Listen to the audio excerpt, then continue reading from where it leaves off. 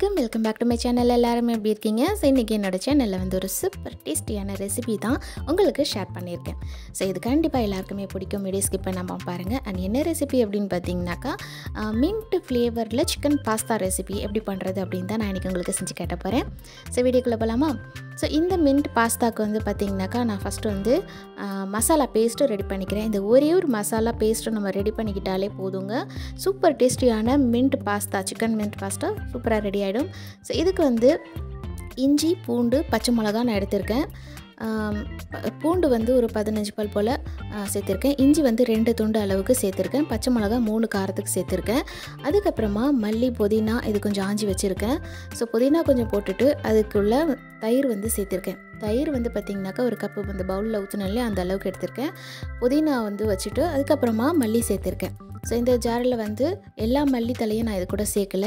கொஞ்சம் பேஸ்ட் பண்ணிவிட்டு அதுக்கப்புறமா இன்னும் கொஞ்சம் ஒரு ரெண்டு ஒரு கைப்பிடி அளவுக்கு சேர்த்துருக்கேன். இதெல்லாம் சேர்த்ததுக்கப்புறமா பார்த்தீங்கன்னாக்கா லெமன் ஜூஸ் வந்து ஒரு பாதி மூடி அளவுக்கு முதல் நான் இது கூட சேர்த்துக்கிறேன். இப்போ இதை வந்து எல்லாத்தையுமே நம்ம ஒன்றா சேர்த்து பேஸ்ட் பண்ணிட வேண்டியதுதான். தேவையான அளவு உப்பும் சேர்த்து இதை நம்ம வந்து மிக்சி ஜாரில் பேஸ்ட் பண்ணி எடுத்துக்கலாம். நான் வந்து ஏற்கனவே என்னோடய சேனலில் வந்து மின்ட் சிக்கன் ரெசிபி ஆல்ரெடி போட்டிருக்கேன். சேம் மசாலா இதே தான். நான் உங்களுக்கு டிஸ்கிரிப்ஷனில் அந்த ரெசிபியோட லிங்க்கையும் கொடுக்குறேன். கண்டிப்பாக போய் செக் பண்ணி பாருங்கள் இப்போ இதை நான் வந்து பேஸ்ட் பண்ணி எடுத்துக்கிட்டேன். மல்லித்தலை வந்து இன்னும் ஒரு கைப்பிடி அளவுக்கு சேர்த்து நான் இது கூட அரைச்சிருக்கேன். புதினா வந்து பார்த்திங்கன்னா அதுதான் அதிகமாக இருக்கணும். ரெண்டு கைப்பிடி அளவுக்கு தாராளமாக போட்டுக்கோங்க. இஞ்சி பூண்டு பேஸ்ட்டு சேர்க்கலாம். பட் வந்து அந்த மல்லி புதினா வந்து நம்ம மிக்ஸ் ப அரைக்கும் போது வந்து பார்த்திங்கன்னா அது அந்தளவுக்கு இதாக இருக்காது. இஞ்சி பூண்டு எல்லாமே கொஞ்சம் ஃப்ரெஷ்ஷாக நம்ம துண்டாக எடுத்து சேர்த்து இது கூட அரைக்கும் போது அந்த மசாலா பேஸ்ட்டு ரொம்பவே நல்லாயிருக்கும் இப்போ இந்த வந்து சிக்கன் வந்து பார்த்திங்கன்னா ஒரு முந்நூறு கிராம் அளவுக்கு நான் வந்து போன்லெஸ்ஸாக எடுத்து வச்சுருக்கேன். ஒன்று ரெண்டு போனோடையும் சேர்த்து இது பண்ணி வச்சுருக்கேன். இதில் வந்து கொஞ்சமாக அந்த முந்நூறு கிராம் அளவுக்கு உள்ள சிக்கனுக்கு மட்டும் மசாலா வந்து பரட்டி இதை கொஞ்சம் நேரம் மேக்னேட் பண்ணி வச்சுருக்கேன். பேலன்ஸ் மசாலா ஜார்லேயே இருக்குது இது நம்ம வந்து பாஸ்தாவில் சேர்க்க போகிறோம் இந்த மசாலா யூஸ் பண்ணி மட்டுமே நான் இன்றைக்கி உங்களுக்கு பாஸ்தா செஞ்சு காட்ட போகிறேன் ஸோ பாஸ்தா வேக வைக்கிறதுக்கு தேவையான அளவு தண்ணி வச்சு பாஸ்தா வந்து தண்ணி ஹீட் ஆனோடனே அதில் போட்டு உப்பு போட்டு ஆயில் போட்டு நம்ம வடித்து எடுத்துக்கலாம். அது கொஞ்சம் நேரம் குக் ஆகிட்டு இருக்கட்டும். அது வரைக்கும் சிக்கன் வந்து அந்த மசாலாவில் கொஞ்சம் நேரம் ஊறி அந்த இதெல்லாம் இதாகிட்டு இருக்கும். இந்த பாஸ்தா வந்து பார்த்திங்கனாக்கா நம்ம நிறைய வந்து சீஸ் பாஸ்தா அது இது எல்லாமே பண்ணியிருப்போம். ஸ்பைசியாக நிறைய வந்து பாஸ்தா ரெசிபீஸ்லாம் நிறைய பார்த்துருப்போம். ஸோ இது வந்து ஃபுல் அண்ட் ஃபுல் வந்து பார்த்திங்கனாக்கா புதினா ஃப்ளேவர் அண்ட் கொத்தமல்லியோட ஃப்ளேவர் தான் அதிகமாக தான் இருக்கும். ஸோ இது வந்து டேஸ்ட்டும் ரொம்ப அட்டகாசமாக இருக்கும். அண்ட் வந்து பிபி கொலஸ்ட்ரால் எல்லாத்துக்குமே ரொம்ப நல்லது. பெரியவங்க கூட வயசானவங்க கூட தாராளமாக சாப்பிட்லாம். ஒன்றும் ஆகாது. ரொம்ப நல்லா ஒரு எனர்ஜெட்டிக்காக இருக்கும். இந்த பேஸ்ட்டு சேர்த்து நம்ம இது மாதிரி சாப்பிட்றது. ரைஸுக்கு கூட இதை யூஸ் பண்ணிக்கலாம். ரொம்ப நல்லாயிருக்கும். ஸோ பாஸ்தா ரெடி ஆகிடுச்சு நான் வடித்து எடுத்து வச்சுக்கிட்டேன். ஃபுல்லாக வேக விட்டு வடிக்கல. கொஞ்சம் ஓரளவுக்கு முக்கால் பதத்துக்கு அந்த கொஞ்சம் சாஃப்ட் ஆனதோட நான் வடிச்சிட்டேன். அதை வடித்து ஆற வச்சுட்டேன். ஸோ இப்போ நம்ம பரட்டி வச்சுருந்தோம் இல்லையா சிக்கன் மசாலாவில் அதை வந்து தனியாக இப்போ ஃப்ரை பண்ணி எடுத்துக்கலாம். இந்த சிக்கன் மசா மசாலா இது பண்ணி தனியாக வீடியோ போட்டிருக்கேன். கண்டிப்பாக போய் பாருங்கள் ப்ளேலிஸ்ட்லேயும் இருக்கும். நான் டிஸ்கிரிப்ஷனில் லிங்க்கும் கொடுக்குறேன்.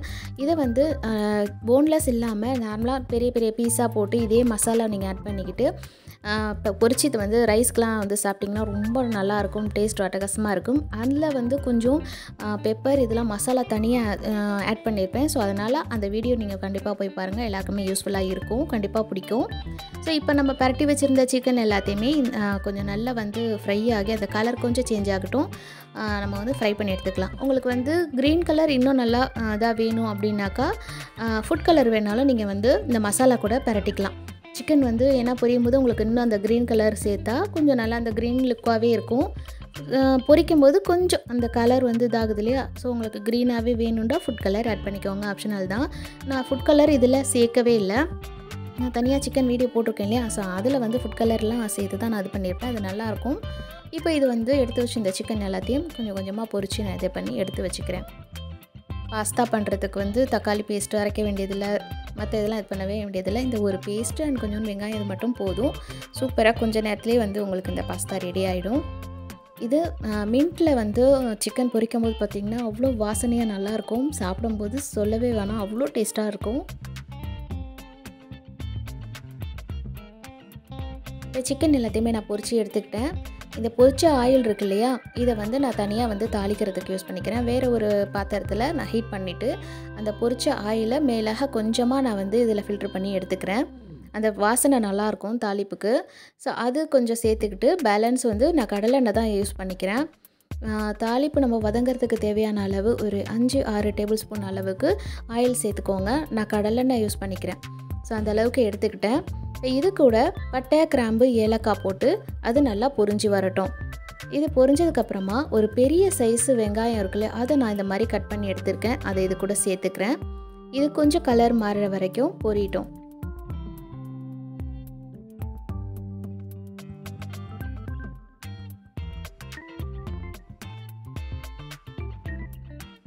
ரொம்ப டார்க் ப்ரௌன் கலர்லாம் வெங்காயம் மாற வேண்டாம். ஸோ இந்த அளவுக்கு கலர் வந்தால் போதும். இது வந்ததுக்கப்புறமா நம்ம பேஸ்ட்டு பண்ணி எடுத்து வச்சுருக்கோம் இல்லையா? மல்லி புதினா இஞ்சி பூண்டு தயிர்லாம் போட்டு. ஸோ அந்த பேஸ்ட்டை இது கூட சேர்த்துடலாம். இதில் ஏற்கனவே வந்து உப்பு லெமன் ஜூஸு எல்லாமே சேர்த்துருக்கோம். ஸோ இதுக்கு மேலே வந்து எதுவுமே தனியாக சேர்க்கணுன்ற அவசியமே இல்லை. இஞ்சி பூண்டு எல்லாமே இதில் இருக்குது இஞ்சி பூண்டு பேஸ்ட் வந்து நீங்கள் உங்களுக்கு இல்லை அந்த ஃப்ளேவர் பத்தலை அப்படின்னா ஏன்னா ஒரு ஸ்பூன் அளவுக்கு இது கூட ஆட் பண்ணிக்கோங்க. இப்போ இது நல்லா கொஞ்சம் ஃப்ளேம் அதிகமாச்சு. பொறிச்சு பொரிச்சு எடுத்துக்கோங்க. அந்த இது வந்ததுக்கப்புறமா சிம்மில் வச்சுட்டு ஆயில் கொஞ்சம் பிரிஞ்சு வரும் இல்லையா மசாலாவில் ஸோ அந்த சமயம் ஒரு ரெண்டு டீஸ்பூன் போல் பெப்பர் சேர்த்துக்கோங்க பிளாக் பெப்பர் இது சேர்த்து சிம்லேயே வச்சு கொஞ்சம் பெரட்டி விடுங்க. அவ்வளோதான் இந்த மசாலா பாஸ்தாக்கு இது ஒரு மசாலா தான். வேறு எதுவுமே சேர்க்க வேண்டியதில்லை. ஸோ அந்த மசாலா இருந்த அந்த கொஞ்சம் இதை நான் தண்ணி விட்டு அலசி இந்த மசாலாவை கொஞ்சம் கிரேவி பதத்துக்கு கொண்டு வந்துக்கிறேன்.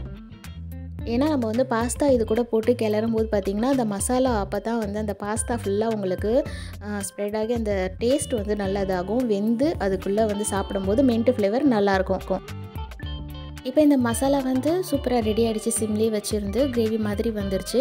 இந்த சமயம் நம்ம வடித்து வச்சுருந்த பாஸ்தாவை இது கூட சேர்த்துக்க வேண்டியது தான் பாஸ்தா சேர்த்து கொஞ்சம் இது பண்ணிக்கலாம். சிக்கனை வந்து இதை சமயம் சேர்க்காதீங்க அந்த கிரேவியில் அதை லாஸ்ட்டாக சேர்த்துக்கலாம் பொரிச்ச சிக்கனை. இதில் சேர்த்திங்கன்னா அந்த சிக்கனோட அந்த ஃப்ரை ஃப்ரை பண்ண அந்த ஃப்ளேவர் மாறிடும் இல்லையா? ஸோ அதனால் அதை லாஸ்ட் ஆட் பண்ணிக்கலாம். இப்போ பாஸ்தா போட்டு நம்ம இதை கொஞ்சமாக மிக்ஸ் பண்ணி விட்டுடுவோம். இதே வந்து பார்த்திங்கன்னா பாஸ்தாக்கு பதிலாக நீங்கள் ரைஸுமே செய்யலாம். சிக்கன் மின்ட் ரைஸ் மாதிரி சூப்பராக இருக்கும். ரொம்ப டேஸ்ட்டாக நல்லாயிருக்கும். ஸ்கூல் போகிற பிள்ளைங்களுக்கும் சரி ஆஃபீஸ் போகிற ஹஸ்பண்ட்ஸ்க்கும் சரி இந்த மாதிரி மின்ட் ரைஸ் மாதிரி செஞ்சு கொடுத்திங்கன்னா ரொம்பவே நல்லாயிருக்கும். சிக்கன் போட்டு லஞ்ச் பாக்ஸுக்கு சூப்பரான ரெசிபி அது. கண்டிப்பாக அதையும் ட்ரை பண்ணி பாருங்கள் ரொம்ப நல்லாயிருக்கும். இப்போ பாஸ்தா போட்டு இந்த மசாலாவில் சூப்பராக மிக்ஸ் பண்ணி விட்டுட்டேன். இதுக்கு மேலே வந்து நம்ம ஃப்ரை பண்ணி வச்சுருந்த சிக்கன் இருக்குல்லையே அதை வந்து கொஞ்சம் மேலாக அப்படியே பர ஸ்ப்ரெட் பண்ணி விட்டுடலாம். ஸ்ப்ரெட் பண்ணி விட்டுட்டு மூடி மூடி போட்டு கொஞ்சம் நேரம் தம்மில் இருக்கட்டும். அந்த வாசனை ஃபுல்லாக வந்து பார்த்திங்கன்னா ரொம்ப நல்லாயிருக்கும் கொஞ்சம் நேரம் அது தம்மில் இருந்ததுக்கப்புறமா இதை நம்ம வந்து மிக்ஸ் பண்ணி விடும்போது அந்த ஃப்ளேவர் நல்லாயிருக்கும்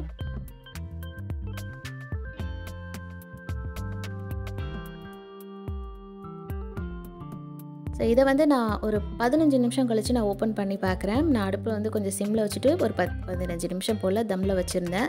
நீங்கள் தோசைக்கல் யூஸ் பண்ணி வேணாலும் தம்மில் வைங்க. ரொம்ப நல்லாயிருக்கும். அதுவும் நல்லாயிருக்கும். ஸோ இப்போ இந்த மின்ட்டு வந்து பேஸ்ட்லாம் நம்ம மசாலா பேஸ்ட்டு போட்டு நம்ம பாஸ்தா வந்து சூடோடு இருக்கும்போது பார்த்திங்கன்னா ரொம்ப நல்லா அந்த ஃப்ளேவர்லாம் அந்த பாஸ்தாவில் இது பண்ணி மிக்ஸ் பண்ணும்போது அவ்வளோ வாசனை ரொம்பவே நல்லா இருந்துச்சு. சாப்பிட்றதுக்கும் சும்மா சொல்லக்கூடாது. ரொம்பவே டேஸ்ட்டாக அட்டகாசமாக நல்லா இருந்துச்சு. இப்போ இது வந்து அந்த சிக்கன் மேலாக வச்சுருந்தோம் இல்லையா? ஸோ அதை கொஞ்சம் நேரம் அந்த பாஸ்தாவோட மிக்ஸ் பண்ணிவிட்டு ஒரு அஞ்சு நிமிஷம் மூடி போட்டு வச்சுடுங்க. அந்த சிக்கன் ஃப்ளேவரும் அந்த பாஸ்தாவில் இதாகி சாப்பிடும்போது ரொம்பவே நல்லாயிருக்கும். ஒரு ஸ்மோக்கி ஃப்ளேவரில் ரொம்பவே நல்லாயிருக்கும். கண்டிப்பாக இந்த ரெசிபி நீங்கள் ட்ரை பண்ணி பாருங்கள் எல்லாருக்குமே ரொம்ப பிடிக்கும். சின்ன குழந்தைங்களுக்கு ரொம்பவே பிடிக்கும். இந்த மின்ட் ஃப்ளேவரில் புதுசாக நம்ம வந்து இந்த பாஸ்தா வந்து ட்ரை பண்ணி நான் இன்றைக்கி உங்களுக்கு காட்டியிருக்கேன். எனக்கு சாப்பிடும்போது ரொம்பவே பிடிச்சிருந்தது. வீட்டில் எல்லாருமே நல்லாயிருக்கு அப்படின்னு சொன்னாங்க. ஸோ கண்டிப்பாக உங்களுக்கு இந்த ரெசிபி பிடிச்சிருக்கும்னு நினைக்கிறேன். அப்படி பிடிச்சிருந்துச்சுன்னா மறக்காமல் ட்ரை பண்ணி பார்த்து பார்த்துட்டு கமெண்ட்டில் சொல்லுங்கள் வீடியோ பிடிச்சிருச்சுன்னா மறக்காமல் லைக் பண்ணிவிட்டு சப்ஸ்கிரைப் பண்ணிக்கோங்க. உங்கள் ஃப்ரெண்ட்ஸ் அண்ட் ஃபேமிலிக்கும் வீடியோ ஷேர் பண்ணுங்கள் இன்ஷால்லா அடுத்தது ஒரு வீடியோவில் பார்க்குறேன். தேங்க்யூ அஸ்லாம் வலைக்கும்